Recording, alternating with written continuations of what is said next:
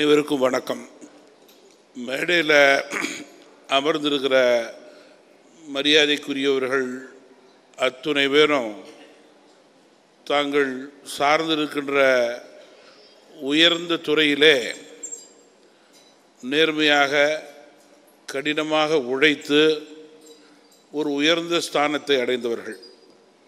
அப்படிப்பட்ட நல்ல மனிதர்கள் இன்றைக்கு நம்முடைய எஸ்பி சேகர் அவர்களை வாழ்த்த வருகை புரிந்திருப்பது உண்மையிலேயே மகிழ்ச்சிக்குரியது வாழ்த்துக்குரியது பாராட்டுக்குரியது.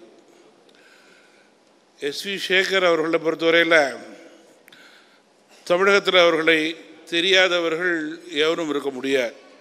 அதே அவருக்கு கிடைத்த மிகப்பெரிய பாக்கியம். அதற்கு அடித்தளம் அவருடைய பெற்றோர்கள் ஷோசார்னு சொல்லலாம். மேலும் நாடகத்துறை சினிமாத்துறை பொதுத்துறை அரசியல் இந்த எல்லா ஃபீல்ட்லேயும் அவர் முத்திரை பதிச்சிருக்கார். இதில் வந்து அவர்கள் ஒரு நல்ல பணியை டெடிக்கேட்டடாக தொடர்ந்து செஞ்சுக்கிட்டு இருக்காங்கங்கிறது தான் இன்றைக்கு அவர்களுக்கு இருக்கிற ஒரு அங்கீகாரம்னு நான் சொல்ல விரும்புகிறேன் மேலும் சினிமா துறை அதில் பல படங்கள் நகைச்சுவையாகவும் நடிக்க தெரியும் குணச்சித்திரமாகவும் நடிக்க தெரியும்னு நிரூபித்தவர் பல விருதுகள் அதற்கு பெற்றிருக்கிறார். இன்னும் சினிமா துறையில் அவர் உயர முடியும் வளர முடியும் சிறக்க முடியும். இருந்தாலும் கூட தன்னுடைய அடித்தளம் வந்து நாடகம்தான். நாடகங்களுக்கு முன்பு போல இப்பொழுதெல்லாம் யாரும் மிகப்பெரிய அங்கீகாரம் கொடுப்பதில்லை. கொடுக்க வேண்டும். கர்நாடக இசைக்கும் சில நேரங்களில் அதே நிலைதான். மரியாதைக்குரிய ஐயா நல்லி போன்றவர்களெல்லாம் இன்றைக்கு எடுத்துக்கொண்டிருக்கின்ற முயற்சி பாராட்டுக்குரிய முயற்சி என்ற நேரத்தில் நான் குறிப்பிட விரும்புகிறேன். சேகர் அவர்களை பொறுத்தவரையில் நாடகத்துறை மேலும் வளர வேண்டும் சிறக்க வேண்டும் உயர வேண்டும். இன்றைக்கு அவருக்கு அறுபத்தொம்போதுலேருந்து எழுபதுங்கிறார். அதை நம்பி நாங்கள் வரல. நாற்பத்தொம்போதுலேருந்து ஐம்பதுன்னா கூட நாங்கள் நம்பி வந்திருப்போம். அது வேற. நாடகத்துறை வந்து அடுத்த ஜென்ரேஷனுக்கு போகணும் வளரணும் தொடரணும். நம்முடைய சந்ததியினர் நாடகங்களிலும் நடிக்கணும் நாடகங்களுக்கு டிக்கெட் வாங்கி பார்க்கணும். அப்படிங்கிற ஒரு உணர்வோடு தான் இதனை வளர்த்து கொண்டிருக்கிறார் என்று கூற முடியும். ரொம்ப தைரியமானவர் நினைத்ததை தைரியமாக சொல்லக்கூடியவர். உள்ளொன்று வைத்து புறமொன்று பேசுகின்ற பழக்கமெல்லாம் அவருக்கு கிடையாது. ஆனால் அன்ஃபார்ச்சுனேட்லி சில நேரங்களில் அந்த புரிதல் தப்புன்னு சொல்லுவோம்ல அதை புரிஞ்சிக்காமல் குழப்பிக்கிட்டு அதனால் அவர் பல சங்கடங்களுக்கெல்லாம் உள்ளாயிருக்கார். அதெல்லாம் தாண்டி இன்றைக்கு தமிழகத்திலே ஒரு நல்ல மனிதர் அவர் உள்ளா வந்து கொண்டிருக்காருன்னா அதுக்கு உண்மையிலே காரணம் அவருடைய தேசபக்தியும் தெய்வ பக்தியும் தான்.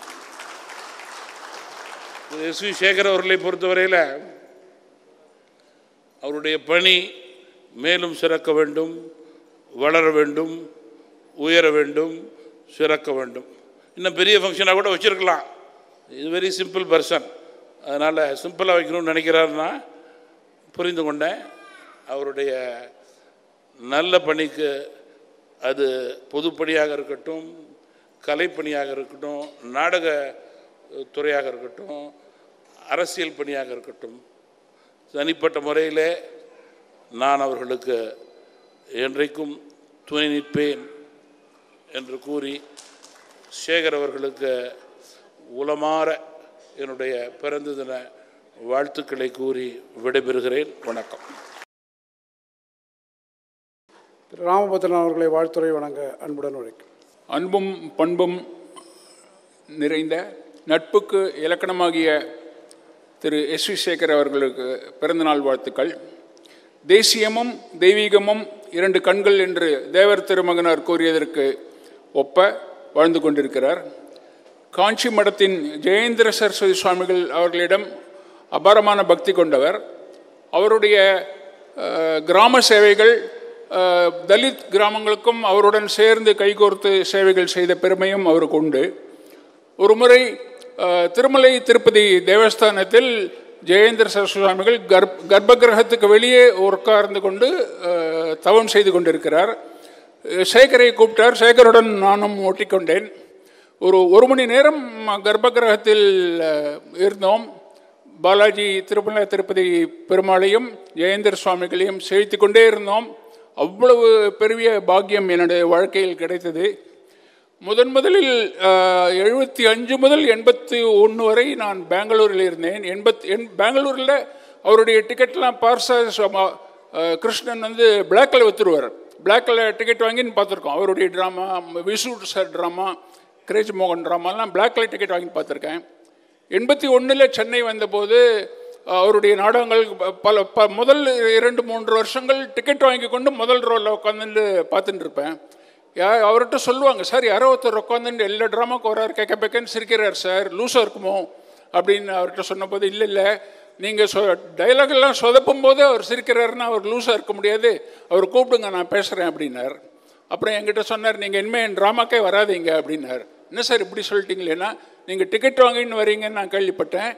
நீங்கள் டிக்கெட் வாங்கின்னு வரக்கூடாது. நீங்கள் வந்து நாடகப்பிரியாவுடைய ஒரு மெம்பர் அதனால் நீங்கள் வரும்போது ரைட் ராயில் நேராக வந்து என்னை பாருங்கள் இல்லாட்டா வந்து ட்ராமாவை பாருங்கள் அப்படின்னு சொல்லி அவருடன் பழக்கம் முப்பத்தஞ்சு நாற்பது வருஷங்களாக நான் என்னுடைய மாலை வேலைகளை அவருடைய நாடகங்களில் செலவழித்து கொண்டிருக்கிறது. என்னுடைய வாழ்க்கையின் பெரிய பாக்கியமாகும். மற்றபடி ஒரு ட்ராமா முடிஞ்ச உடனே அவரை வந்து எல்லோரும் கலைஞர்கள்லாம் உடனே வீட்டுக்கு போகிறதுக்கு தான் பார்ப்பாங்க. ஆனால் அவர் வந்து கீழே இறங்கி ரசிகர்களோடு ரசிகர்களாக கலந்து ஃபோட்டோ எடுத்து ஆட்டோகிராஃப் கொடுத்து அவர்கள் சொல்வதற்கும் கருத்துக்களுக்கும் பொறுமையாக பதில் சொல்லி அவ்வளவு நற்பண்புகள் நிறைந்தவர். ஒரு சமயம் ஒருத்தர் நான் அவருக்கு இன்ட்ரடியூஸ் பண்ணி வச்சேன். சார் இவர் கூட சட்டநாதபுரம் தான் உங்கள் ஊர் அப்படின்னாரு. அவர் சும்மா இருக்காம இப்போ சட்டநாதபுரத்துலலாம் யார் இருக்காங்க? அப்படின்னு கேட்டதுக்கு இவருடனே உடனே சட்டநாதபுரத்தில் ஜனங்கள்லாம் இருக்காங்க. தோப்பு தரவு வீடு வாசல் மாடு பண்ணைலாம் இருக்குது நாங்கள் தான் வந்துட்டோம். நல்லா இருக்கோம் இப்போது அப்படின்னு சொல்லிட்டாரு. அந்த மாதிரி உடனே இம்மிடியட் விட்டுன்னா அதுக்கு வந்து எஸ் வி சேகர் தவிர வேறு யாருமே கிடையாது. அதற்கு நாங்கள் என்றென்றும் அடிமை என்பது இந்த சமயத்தில் தெரிவித்துக் கொள்கிறேன்.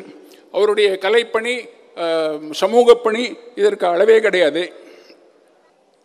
இந்த யூஎஸ்லேருந்து வந்துட்டு ட்ராமா முடிஞ்சானே அவரோட பேசுவாங்க. "ஏ- என்னுடைய பேரன் என்னுடைய பையன் உங்கள் ட்ராமா கேட்டுட்டே தான் தூங்குவான் அப்படின்னு சொல்லுவார். அப்படி பண்ணாதீங்க அப்படி பழக்கம் பண்ணாதீங்க. நான் வந்து ஸ்லீப்பிங் பில் கிடையாது. எல்லாரும் ஃபுல் ட்ராமாவையும் கேட்டுட்டு அதுக்கப்புறம் தூங்க சொல்லுங்கள் அதுதான் ரொம்ப நல்லா இருக்கும் அப்படின்னு சொல்லுவார். அந் அந்த அளவுக்கு வந்து பெருமை பெருமை பெருமை மிக்கவர். மாதா பிதா குரு தெய்வம் என்பதற்கு அடையாளமாக வாழ்ந்து காட்டு கொண்டிருப்பவர் அவருடைய அவருடன் இவ்வளவு வருஷங்கள் பழகும் பெரிய பாக்கியத்தை இறைவன் எனக்கு அழைத்ததற்கு மிகவும் நன்றி கூற கடப்ப கடமைப்பட்டிருக்கிறேன். கோடான கோடி ரசிகர்களின் சார்பில் அவருக்கு என்னுடைய வாழ்த்துக்களை தெரிவித்துக் கொள்கிறேன். நன்றி. இந்த வீடியோ உங்களுக்கு பிடிச்சிருந்தா லைக் பண்ணுங்கள் ஷேர் பண்ணுங்கள் சப்ஸ்கிரைப் பண்ணுங்கள்